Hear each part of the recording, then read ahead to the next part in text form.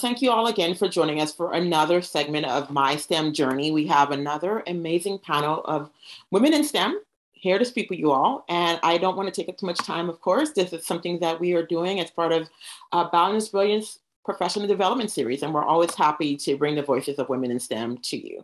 We're going to begin with In My Own Words, that segment where our um, participants and panelists tell us a little bit about where they are currently in STEM. And then, of course, we're going to dive a little bit back into the past and talk about the entire journey that got them here. So we will, again, I'll start off with introducing our panel. We have Dr. Katherine Chang, Dr. Charnise Moore, and Dr. Laura Rivard. Tell us about where you are currently in your position. I'm Kat, and um, I'm currently an associate director in academic collaborations at a company called Exact. And Exact is a company that's focused on early detection of cancer.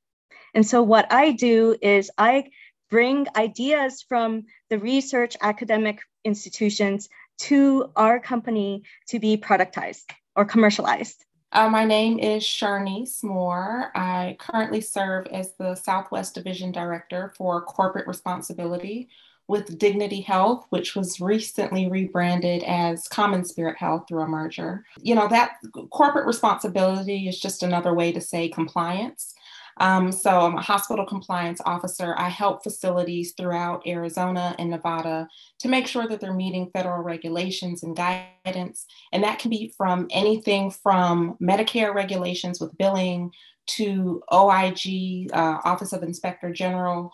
Uh, audits and findings and stances to anything related to clinical trials and research. Um, so it really covers a uh, wide breadth and scope and it, it's it's really challenging but also really rewarding work I'm Laura Rivard. I currently work at the University of San Diego, where I'm a teaching professor and outreach coordinator for the sciences.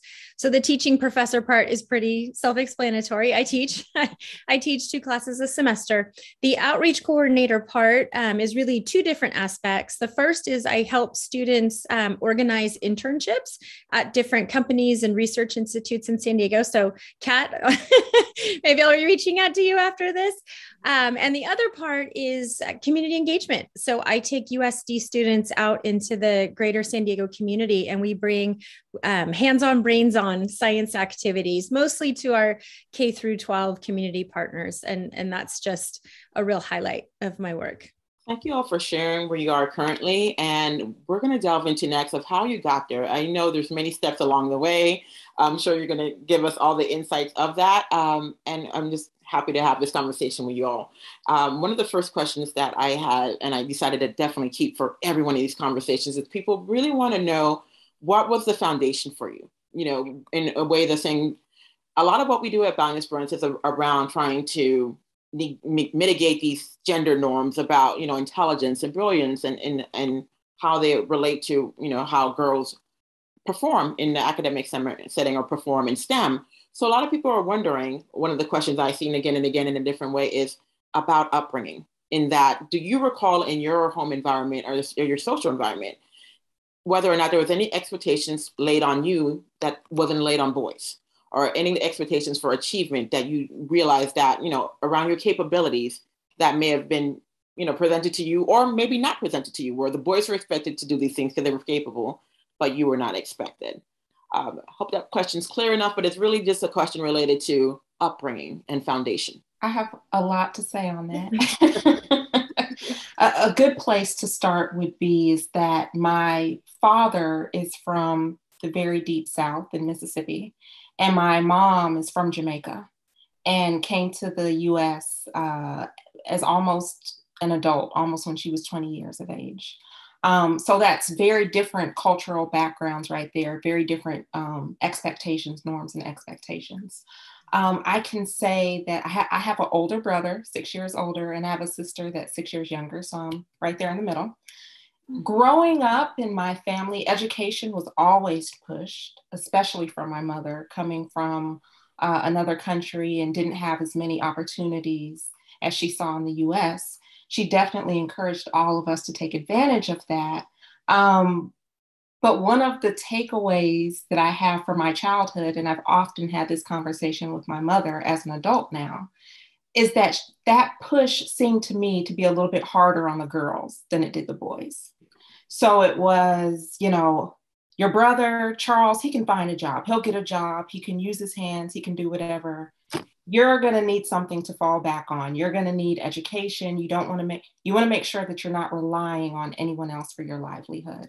And I very much appreciated those messages and, uh, you know, that, that kind of push. But at the same time, it wasn't the same message that was being delivered to my brother.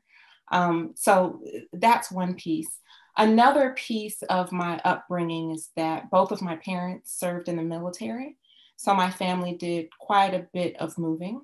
Um, I've lived in places like Hawaii and Guam, Detroit, Mississippi, Rhode Island, Arkansas, Kentucky.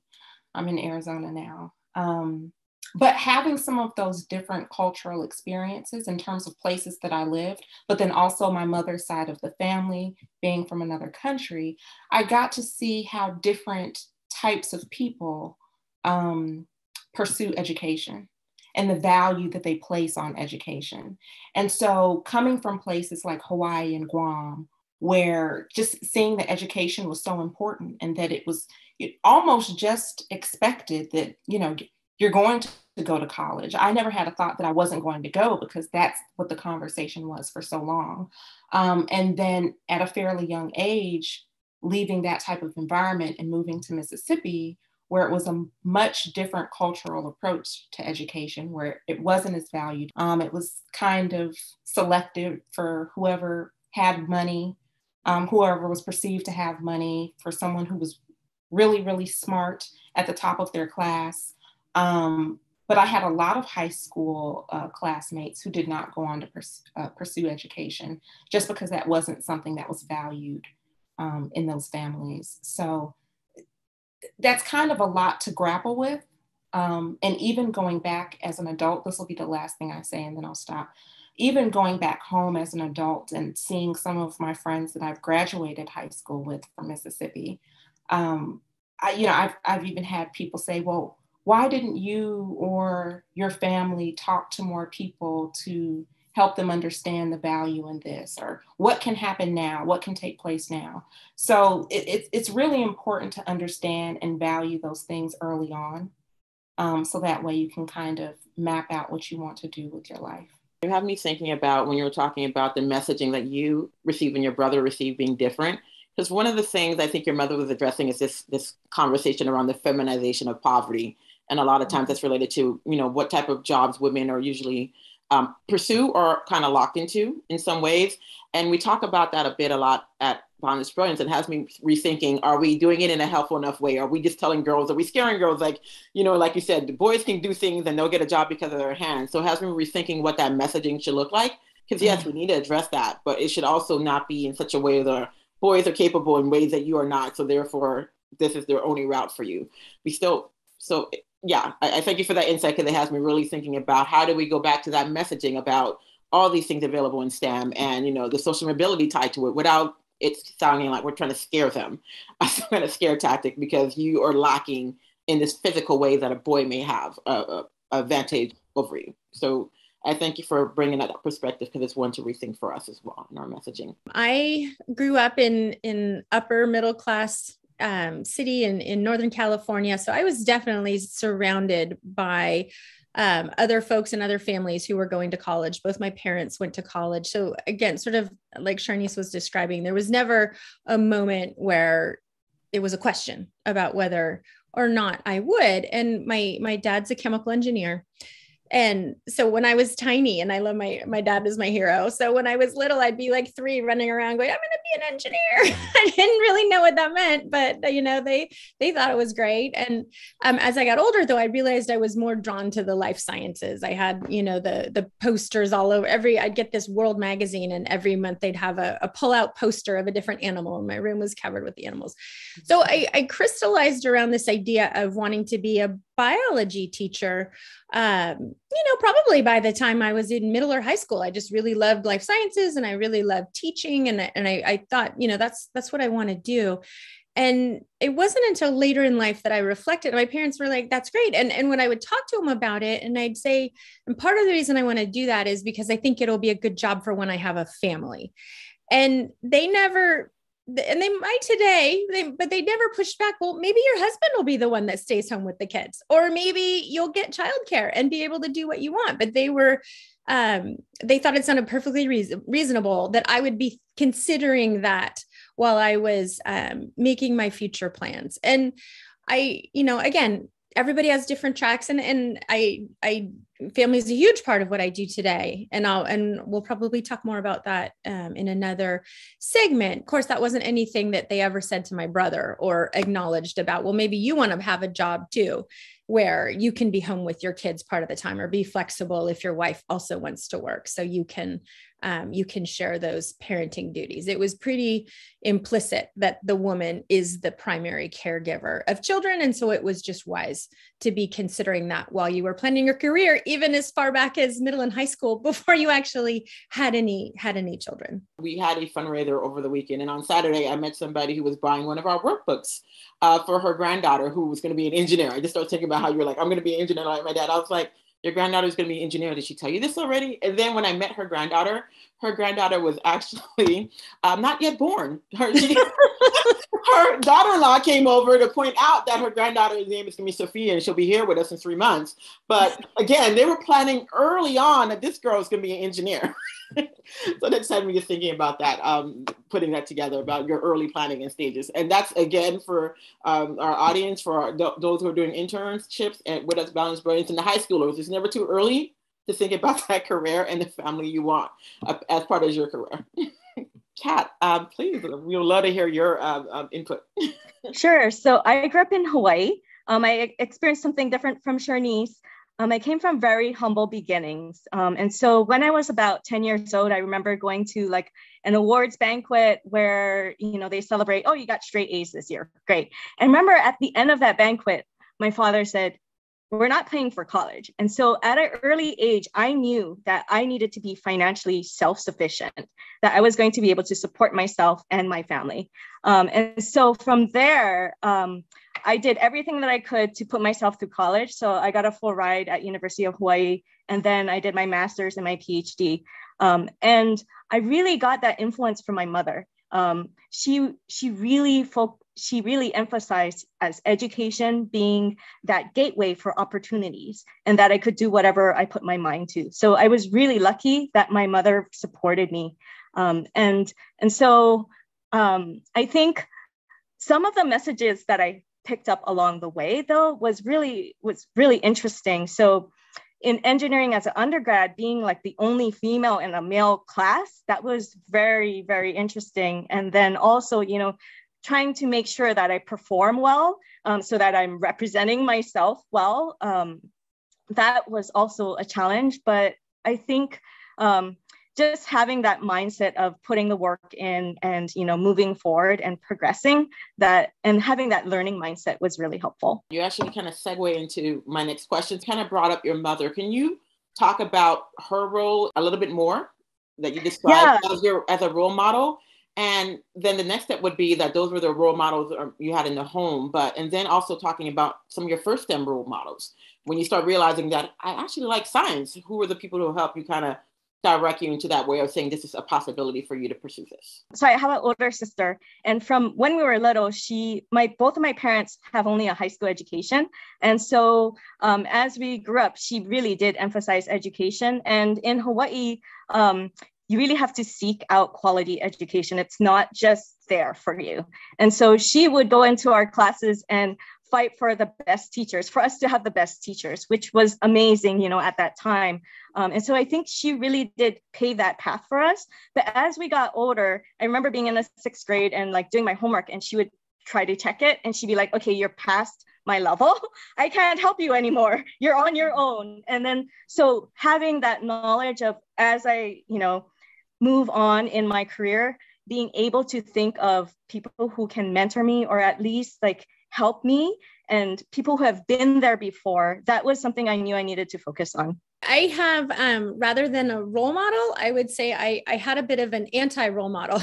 So wow. i um, like i said from when i was pretty little i, I thought i was interested in, in, teaching but I, I didn't know what. I didn't know if i wanted to do elementary school or or you know high school and, and have a particular subject and I had um I, it was my freshman year in high school. I had a biology teacher that was really bad, really really bad. And he would he would teach things wrong, he would be disorganized, he would be confusing and um I, I was that obnoxious student sometimes where I'd be like, I don't think that's right. and I would say the book says, you know, and I'd I'd go home at night and I would think, you know, if I was teaching this, I would do it this way. And I would really sit there for, you know, an hour and I would think about what we had learned about in class and, and how I would do it differently and how I would think it would be more um, more interesting and, and easier to understand.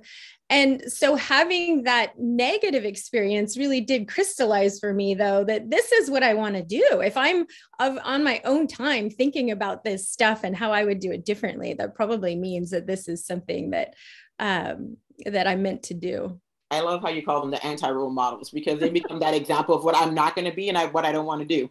So, so they're also a benefit to us.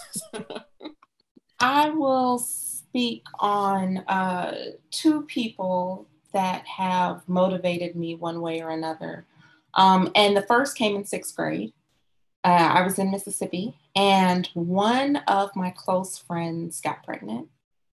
And I did not even know that in sixth grade that we could get pregnant, exactly how someone got pregnant. Um, and she had her baby. She had her baby that year, and it worked out to when we got to our senior year, her and her child could ride the bus together to school. And I just remember thinking in sixth grade, how can this be possible? So from there, I really felt like, oh, I'm, I'm going to go and I'm, I'm going to help uh, young kids and, and young people who may find themselves in this situation. And I started my uh, undergraduate career focused on biology and didn't do as well as I thought I should have in biology. And I was really devastated. And I spoke with an academic advisor that I had and a mentor, turned out to be a very great mentor. And he spoke to me about social sciences and said, you know, this is really something that you ought to consider. And just from my family background and, and, and household, telling a, a older Jamaican woman that you're not going to go to medical school, that you're going to go and do something in social sciences. They're like, what is that? What does that even look like? What, what are you going to do? What are you going to be? What, what does this amount up to? Um, but that ac- academic advisor really encouraged me um, to kind of focus on a different path. And it was one of the best things that could have ever happened to me um, because that's really where I grew to love public health. And that's what set me on that journey. Again, we're still thinking back to these upbringings, that foundational period, um, and trying to connect it a little bit to the present. I wanted to ask this question about what type of discouragement did you experience along the way, whether it was a person, whether it was someone telling you you couldn't get, um, you shouldn't pursue an assignment, a project, a subject, or even your major. Um, or if it's somebody who's, who would have to- told you something about like a gender microaggression, if you ever experienced any of those. I'm thinking back to this um, article I read where there was these um, women in STEM and they submitted something to an academic journal that on their research. And the reply was from one of the researchers who I, I don't know why he actually thought that these things won't go public, that they, they were lacking a male on their team, literally saying that, you know, the research would have been better received if they had like some kind of male leadership or something guiding their work. And that was, you know, it, it kind of blew up. It was about four or five years ago. I remember that came out and I was like, oh, I've been a, a reviewer. I would never say that because you know sometimes your reviews are going to be read and you might be you know you don't know whoever is going to read your feedback on that as well. So it just had me thinking about how many reviewers are actually just going to stop and look at the subject line and look at the people who submitted that article and they're looking for the man. Just no man does that le- means that it's going to be a less legitimate paper to consider. Um, so those are the type of things I'm, i want to see if you came across anything like that. Any discouragement based on your gender or challenges that you think were gender related I have a couple um, stories related to that. When, um, like I said, I start I, I knew for a long time that i wanted to teach. I went to undergraduate i went to ucla and i was a biology major but i was still intending to be a, a high school teacher. And then i got about halfway two thirds of the way through the the curriculum and i just realized i really love biology. And i wasn't done learning. I didn't i because if you teach high school you know you you you'll get your undergraduate degree and and that's pretty much it. And the most you'll likely teach is that first year of bio that you have in at undergrad you're um, in college. So i thought i want to keep going. So i decided to, to go get my phd and i did. And then i, I got about you know halfway through that. And you, certainly 20 years ago when I was doing my PhD, the um, the thought was you would stay in research, whether it be a research institution and, and you might teach a little bit, but you would your primary job would be doing research or even a company. Even that was not super people they weren't really fired up about that. It really wanted you to stay in academic research.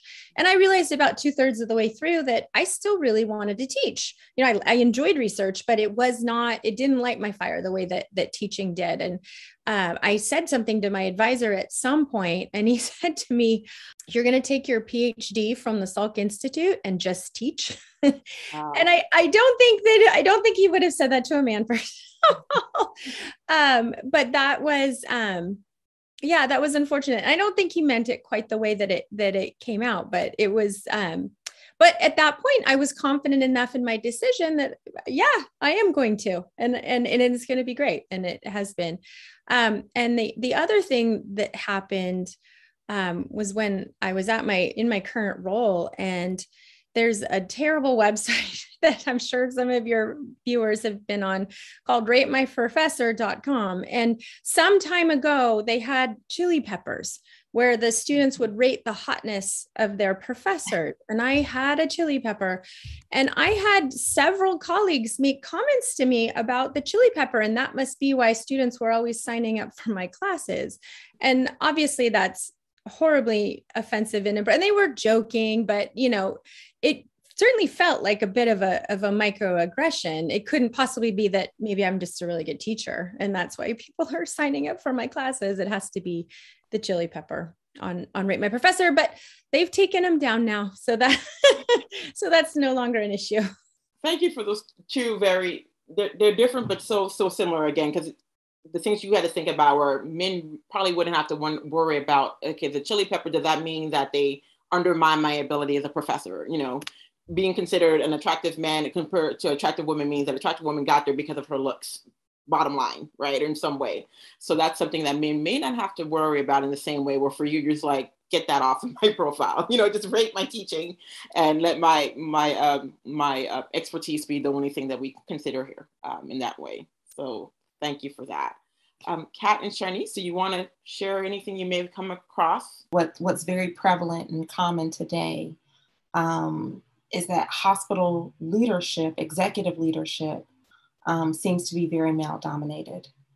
And trying to advance in your career and have kind of some opportunities and doors open, and even looking for mentorship um, can be challenging because everybody at the table doesn't look like you. Sometimes it's the, it's the good old boys club. Sometimes it's just, you know, it, it can be difficult to have that banter when it's a group of guys together and they're talking about football and they all know each other from five, ten years ago. Um, so there have definitely been opportunities that I feel like uh, were not available or accessible to me because of my gender. I always noticed that about hospital leadership as well. And I found it interesting because a lot of times when you look at hospitals, the largest part of their staff is usually female. Um, but they haven't broken that, that glass ceiling to actually enter the leadership positions in so many ways. I mean, even CNO or chief of nursing, you know, positions are still almost male when you look at the nursing workforce. But you're like, this has to be at least 60 to 70 percent women. So you're right; those are the different challenges that we, you know, at Boundless Brilliance hope to help impacting change. Again, putting women in not only the STEM workforce, but leadership positions in the STEM workforce. Mm-hmm. Um, it definitely will be a change of dynamic. A lot of times, the higher you get, the, the wider and more male it, it tends to be. And so you you start realizing how you're different, right? And and for a long time, I thought, okay, this differentness plays against me, right? Because I have to work harder, fight harder. But then I started in my mid 30s, started thinking, this how you're unique it brings value, right? And starting to realize that and understanding the different perspectives you bring really helps. And I think a lot of what I experienced in industry was cultural differences. And so being an Asian female, um, learning different skills like self advocacy. Self advocacy would not exist in Asian culture, especially for females, because um, in the US, it's like squeaky wheel gets the grease, right? But in Asian culture, it's like the loudest duck gets shot or the nail that sticks out gets hammered. And so it's very much of a different mindset. And once I was able to shift and think, okay, it's not necessarily, yes, it may feel uncomfortable or different for me, but it is part of a skill set, right? Because part of how you succeed in your job, some of it is performance, some of it is image, and a lot of it is exposure. And so self advocacy is a skill in itself, but it was really difficult for me to embrace that, having coming from the background that I, I did. You're right. it's all these different things that are happening. It's intersectional, right? The gender, the racial, the cultural, other things that we have to consider. So great, great uh, um, point on bringing that up. And there's another word that we've been using a bit, and it's one of the questions. So I definitely want to make sure I'm getting to it. It's this thing called mentorship. Um, I think when we first started doing this panel, we had one of the panelists um, admit that she didn't seek out mentors, and she felt like that derailed her career in so many ways. And while she was happy with what she was doing, she realized the lack of mentorship that she couldn't get again because she came from first gener- being a first generation college student. She couldn't find that in her community or her family. So I was wondering if you guys can share whether you've sought out mentors, and if you haven't, why not?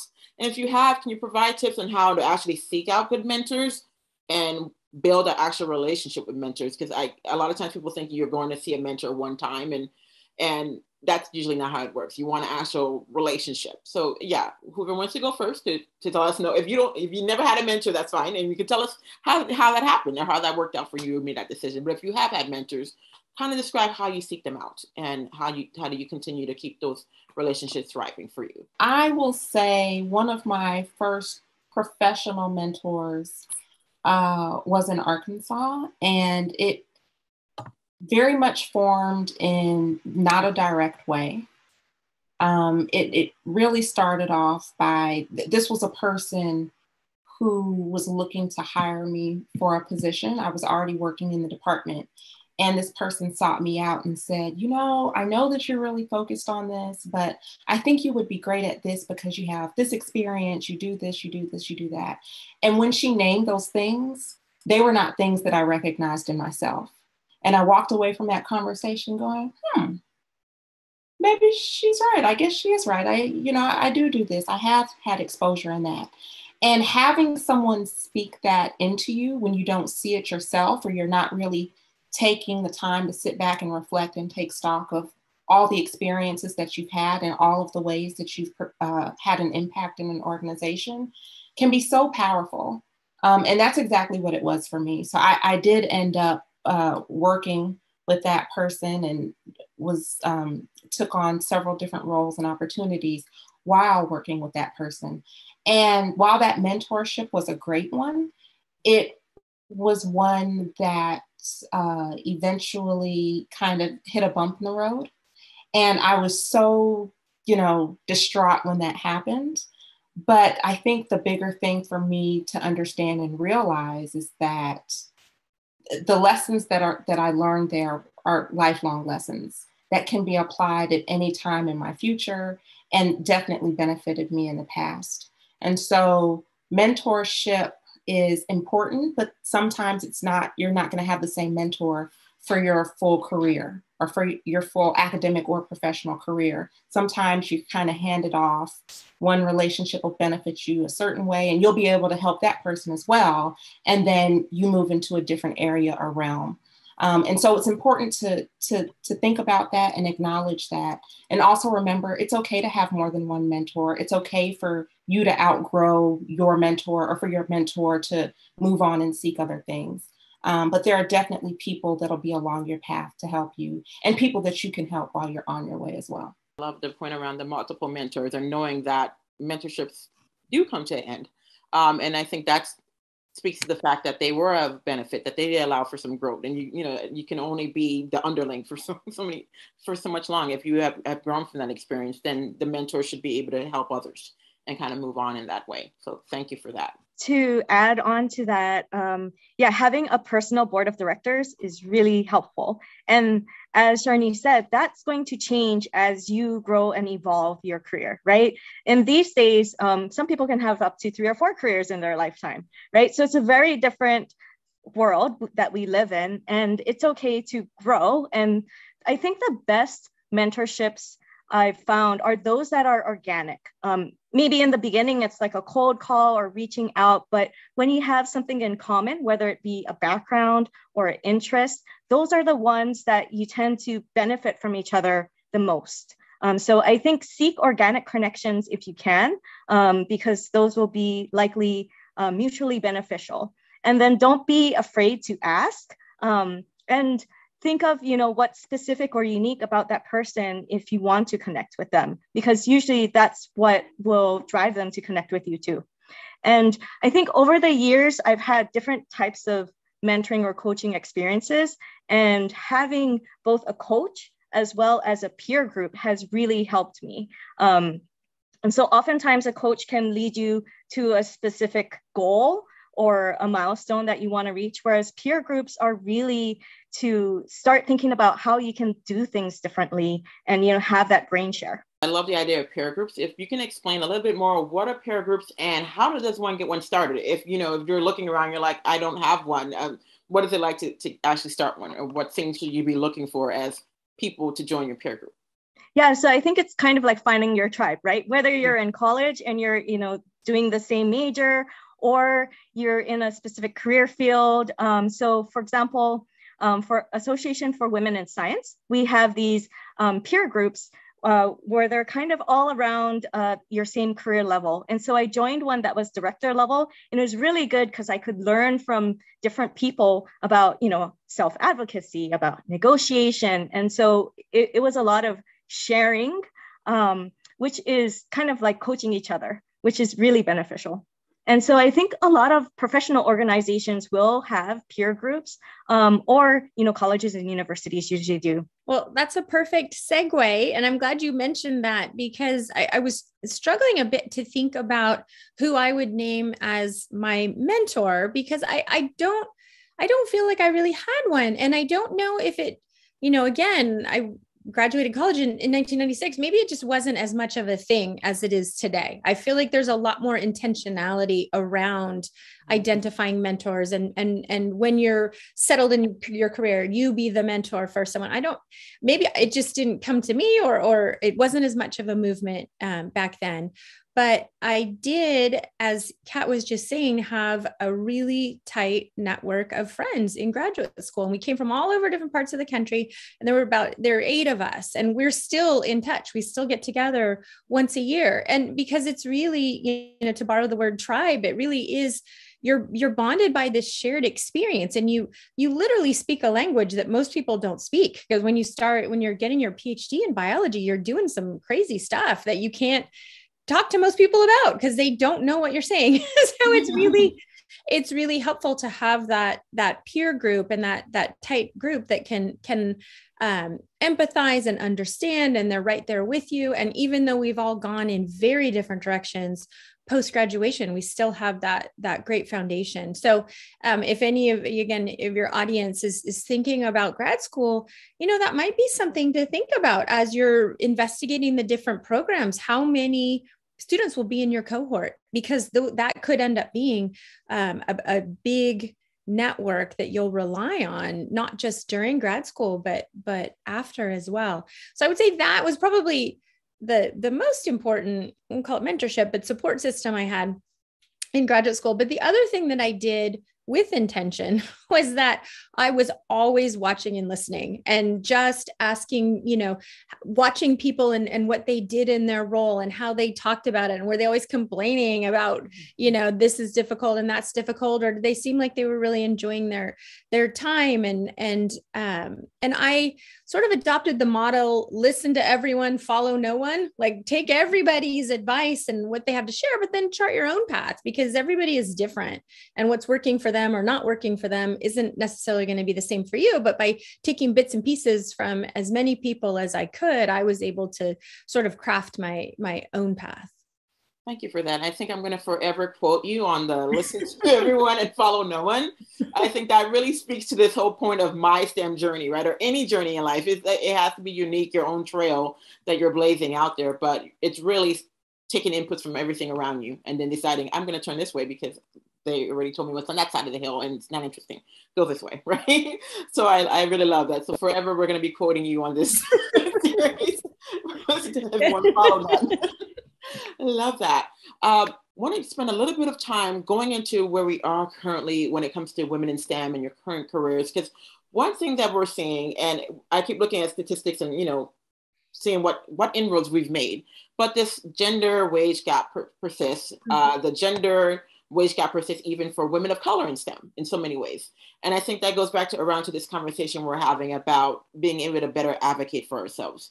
So the question is really for someone who's going to be a young person entering, you know, early career professional, how do they actually do what does that what does advocating for yourself looks like? How do I talk for speak up for myself without coming across as aggressive, as you know, and all these other things that sometimes gets put labels that get put on women who are trying to just simply be more assertive right? So if you can explain what techniques you use or what things you think would be helpful in understanding. And also I would like to say, if you can start talking about when is it time to just go? I think a lot of times we stay in jobs and careers that are not working out for us because we're thinking that we have to be in this fight. But when do you know it's time to switch careers or trying to pursue something else rather than staying and advocating and fighting for yourself? Well, I love that question, and it's um, a skill that that I did not develop until much later than I probably should have.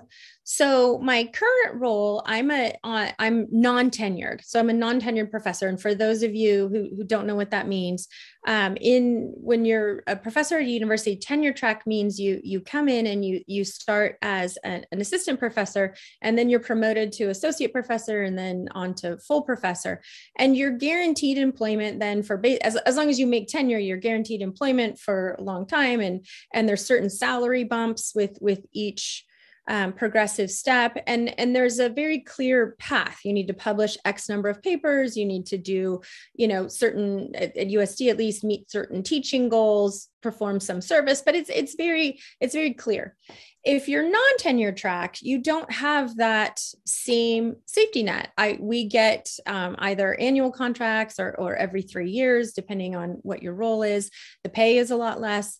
Um, but because of where I was in my life, I, you know, finished my PhD at UCSD, started, do, I did my postdoctoral studies at USD. I had my first child while I was doing my postdoctoral studies. And I was in a position where I didn't have to be the primary breadwinner. And in fact, my husband had a job that wasn't very flexible. So it was a, a mat, you know, we had to make that decision. Am I going to try to pursue a tenure track position somewhere. Unlikely that I was going to be able to get one in San Diego. You when when you're looking for a tenure track position in academia, you have to be willing to go wherever there's a job. It's it's highly competitive, and that just was not going to be what our family was going to do. It, did, it didn't make sense for us.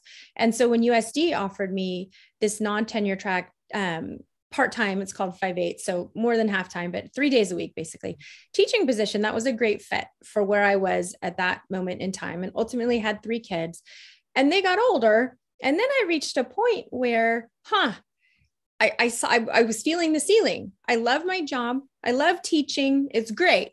But I also knew that this was going to be what I was doing forever, that there was no there was no avenues for me to to climb anymore and as an achievement oriented person that started to get really frustrating and I didn't. Here's where the, here's finally circling back to your question, the negotiation piece. Well, I didn't negotiate. I, I, went to our chair and I said, um, you know, I'm this is gonna be my last year. Um, because the you know, I, I like my job, it's great, but I need to I need to be able to spread my wings and and have some new challenges. Um, and he said, Oh, okay.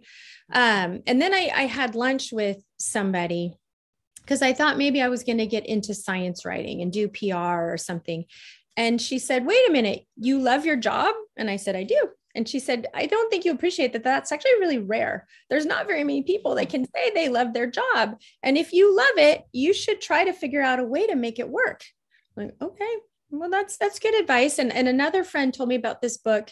To your point, women don't ask. It's by um, Linda Babcock. It was 2007, so there may be a newer book out there now, but it's all about what you're describing. This phenomenon. You know, if you took a man, and there's studies. This is not just anecdotes. There's lots of studies. If you took a man and a woman in their first career, the first job, equally qualified, they both get hired and the employer says congratulations you you know we're, your starting salary is 70000 the man will say, I'd like 75. The woman will say, thank you. so um, I read the book. I talked to this woman. And so I went to our chair and I said, just to be clear, um, I do love my job. And if we can tweak it in some way that I have some new challenges, I would love to stay, but I need more. I need to be able to do more than what I'm doing right now. And he said, Great. And he went to the dean and they talked and they created the outreach coordinator position for me because wow. i had i had was doing a bit of that in my classes anyway finding these these opportunities and, and they knew that i loved that and they did that for me. And and so it was it was just so affirming first of all that they did value me which wasn't necessarily clear by my job title and my non-tenure track. It wasn't necessarily clear that they valued me. So that was was wonderful. And it was a huge lesson. And if you're good at your job and you like your job they're going to want you to stay and just open the door for them to be able to to show you that and and let them you know convince you to stay. Thank you for that. That was a phenomenal I don't even want to say story, but testimony is what it is for me in, in hearing that. Because, like you said, I didn't negotiate. That was like, whoa, okay. But that, but it was a bit of an ultimatum, and they had to decide whether or not w- were your contributions worth keeping, and they had to make that decision. But that goes back to, like you said, my original question: When do you decide to leave or not? And you had decided to do that, but they found a way to fulfill you. And I think that's the missing piece there of, of understanding when is it leave. Is it no longer fulfilling? Is it no longer what you feel happy doing? You, you hit all these key points. And I think those are when you decide, I may need not just another career, maybe another setting to do what I love doing anyway, in some way. So thank you again for that. I think part of it is so regarding the gender wage gap, I think a lot of companies now that have corporate social responsibility groups are kind of working towards decreasing or making that gap zero. Um, but however, there's still a lot of other disadvantages, right, that these underrepresented groups go through. And um, not negotiating or not self advocating are those kind of more invisible ways where we can be behind, right? So knowing your value and having that conversation is really important. Um, in terms of self advocacy, I did an experiment. So um, my my background is engineer. I went to be a scientist. Um, I did some manufacturing ops, and then I went to sales, which was very different. But I kind of wanted to experience how does um, the commercial world work. And when I went into a sales role, I told myself, this time I'm going to reset. I'm going to try something different. Before I would just in the R&D world, I would just put my head down and work, right? I thought, okay, if I work hard enough, someone's going to see it and they'll reward me. Um, but that's not really how the world works. And so in sales, I knew a lot of these people are more um, interaction based, right? And so I thought, okay, for me to be promoted, I need to have the buy in and advocacy of every manager in that sales group. And so that's what I did. I, I spoke with sales managers um, maybe like once a month. I let them know like where I was going, what I was interested in, how, how I was contributing to the greater part of the group. And I was promoted within like eight months. And so I was like, wow, this works.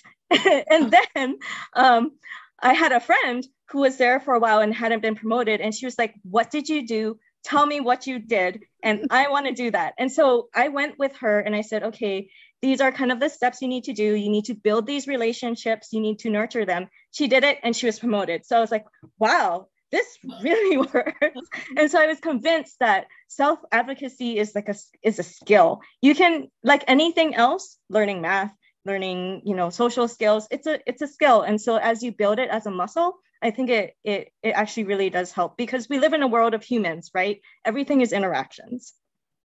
Great point. Thank you for that. That is, um, again, another amazing testimony about the, the value of knowing these different skill sets. I think it goes right back to what Laura was saying, because when she showed up into that dean's office, you know, you were advocating for yourself in every way. And this is what I'm about, and what can you do with it? So the same thing again with what Kat's talking about, just kind of showing up and, you know, you have this work that speaks for itself, but being present and people knowing your head's not down, they can remember everything you've done because they know your name now. They've seen you, they discuss things with you. So yeah, and in the first five years of my career, I would just say yes to whatever they gave me in terms of salary. And then I started realizing, oh, wow, they expect you to negotiate. You should at least negotiate 5%, right? Because the male, the your male counterpart is always going to be negotiating for that. And if you don't, the salary gap just gets wider and wider. And so what I learned to do over the years is when they ask you, how much do you want to be paid? You never give them a number. You say, for the role that I'm interested in, what is your range? And then you shoot for the upper part of the range, right? Or depending on your credentials, where you where you need to be. Because a lot of times women, women will either undervalue themselves or they won't negotiate at all a great point. I, I, know there's a lot of legislation pushing for jobs to now actually post their salary in certain states where it's like a requirement, and some places don't. So I went on and looked at again some of these job posts. I find it interesting because they the ones that don't post say competitive salary, but what does that even mean? Competitive who? You know. So I was like, I, I'm not saying that's a red flag, folks. If it's if if it's so competitive, they wouldn't be shy about posting it.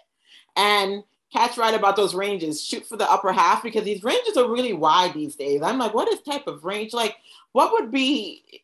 I've seen a range of 75,000, 125,000.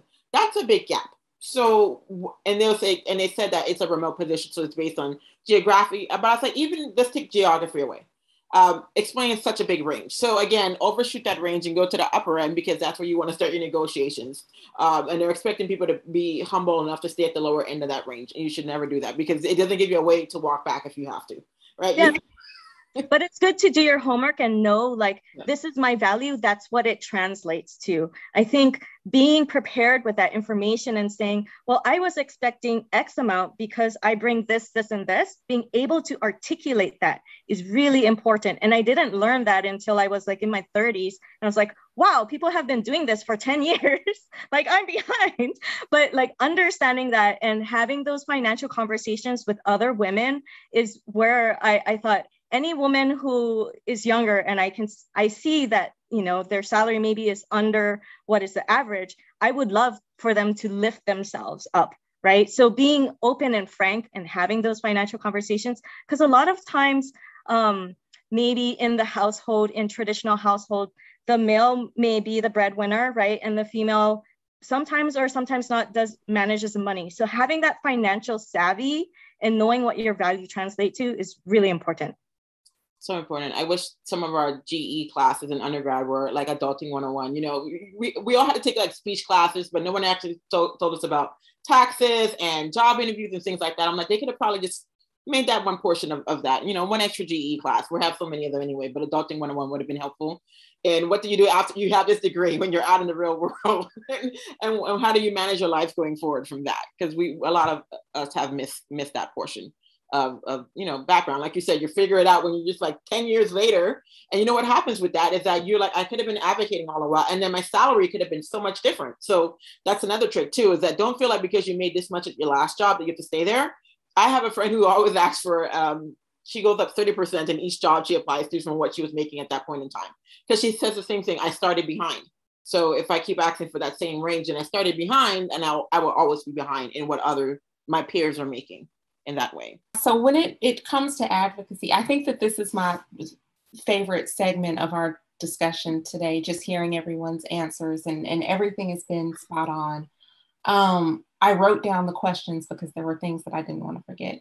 So when it comes to advocacy, um, I agree with Kat. You have to know and be able to speak to the experience that you bring to the table. You have to be able to speak for and advocate for the way that you're going to think about things, the way that you'll be able to handle things that's different from your peers or from your cohort, the other people that you work with. You need to be able to personalize your approach and be able to very clearly articulate exactly what you bring to the table. That's important when it comes to advocating for yourself. Now, as a Black woman in a male dominated CEO hospital executive field and, and compliance area, when Black women do that, there, there's often a label that goes with it. Um, you know, and that label probably goes across race. Um, you know, pushy, um, too loud, too outspoken, too too vocal, too verbal. Uh, there could be other words or phrases that are also applied. I feel like I provided myself a great disservice earlier in my career because I was scared of those labels. My takeaway for anyone listening to that call is you're going to have those labels applied to you in a room, whether you're sitting there or even if you're not in the room the discussion will be had. So you might as well advocate for yourself. You might as well push for what you want. Don't be afraid of the labels because these are the same things that your male counterparts are being congratulated for for taking authority, taking a stance. They were so vocal. He was so strong and so passionate in, in what he was feeling or what he was doing. So don't shy away from the label of being too loud or too outspoken um, anytime I hear that, I automatically flip that in my mind and I'm like, that's a good woman to know. She's too loud, she's too outspoken, she's too vocal. That's a woman that's going places. That's somebody that I need to make sure that I'm around, or at least I have the opportunity to have a discussion with. Um, and then the other thing I would say when it comes to advocating for yourself, when you're in meetings, I, I know a, I have personally felt like I've suffered from imposter syndrome. I don't know if anyone else has um, that's the perfect way to advocate for yourself. And I feel like this is something that Pat, uh, Kat kind of started with. Make sure that when you're in those meetings, that you're speaking up, that you're sharing your opinions. Um, even if you're the only person in that room that has that opinion, it's still another opinion that needs to be considered. It's a different way of thinking. You've brought your approach and perspective that could be very different from someone else, but that doesn't make it invalid. Um, so speak up in meetings, speak up whenever you're in a room and you don't know other people. Go out of your way to start building those relationships um, because people are going to talk about that. They're going to talk about who they met and this person really had a different way of thinking. Um, so, so don't be afraid of that. Don't shy away from it. Um, and don't be afraid of the labels. Thank you for that. I love it. What I was hearing between the three of you is definitely know what you want and then know your worth and be willing to speak up to let other people know your worth and what you contribute or what you bring to the table as that saying goes around in so many ways. Um, i think that's the biggest takeaway in where to start for self-advocacy in so many ways. Um, and, and, I, and i appreciate what you were saying too Shirley, because i've been there and i realized later on that they're going to call you that anyway. Like everything you're trying to figure out a nice way to say it or not to be too loud of i, I won't say somehow the label falls on you anyway. And you're like, oh my gosh, if I'm getting the label when I did nothing, I might as well say something and earn this label. If you really want to hear it, let's, let's, let's here it goes. So in so many ways. Well, now that we're wrapping up and closing it to the end, I would love for each of you guys to leave one final thought that you can give to a young person, especially someone who is having a hard time recognizing their brilliance, as we say that maybe feel like they're struggling academically or thinking that maybe they cannot achieve something that is set for it for themselves, some kind of a goal or whatever ways. What do you say to someone at that point, um, at that time, or uh, just to remind them of their what they're capable of? I would just say that um, everyone who's ever, you know, set out to accomplish a goal always meets obstacles. There are always challenges along the way. There are always people who will say that, you know, that's really going to be hard for you to accomplish. Do you, do you really think that's what you want to do? And you're going to have your own times of self doubt. Um, but those things aren't unique to any of us. It's something that we all experience going along the way. And I think for me, um, when I was going through my academic career and earlier in my professional career, I would say, oh, this student or, or these people are so much smarter than me. They're so much brighter than I am. Um, but really, what matters at the end of the day is how persistent you're going to be if you continue to strive, if you continue to push yourself and don't give in or give up at the first sign of struggle or doubt, just continue to push forward. I do believe that you will meet your goal. I do believe that you will accomplish what it is that you've set out to accomplish. The people on this panel, I'm sure, and, and other people that the listeners may know um, have all gone through something personally. We've all felt like, I, I can't do it. I'm, I'm not going to be able to make it. But we all did. And there are a million people smarter than all of us.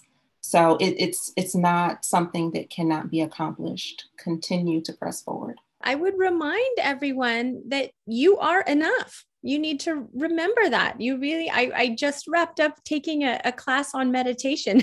It was you know which which actually i bring a lot now to to life outside of, of that meditation that you really need to engage in self-love. You have to whether you're succeeding or failing love yourself enough to embrace it all.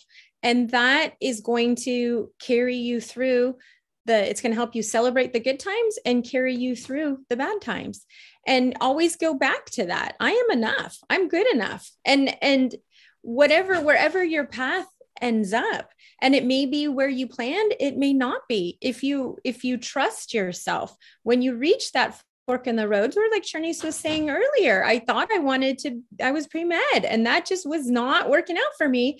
I trusted myself enough to know that this change in track was going to be okay. And it ended up being better than okay. It ended up being, you know, the best, into her own words, the best thing that she did.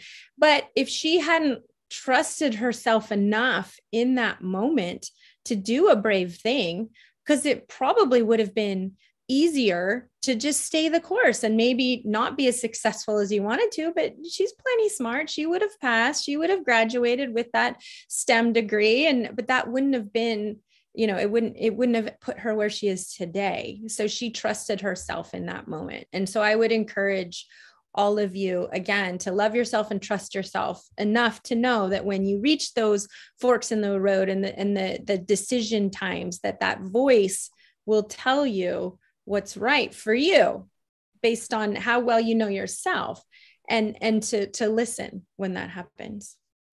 Thank you for that. Yeah that's one thing again i think we pointed out that sometimes getting to your goals means you're going to see obstacles and another thing is that you may readjust your own goals and you have the right to do that yeah.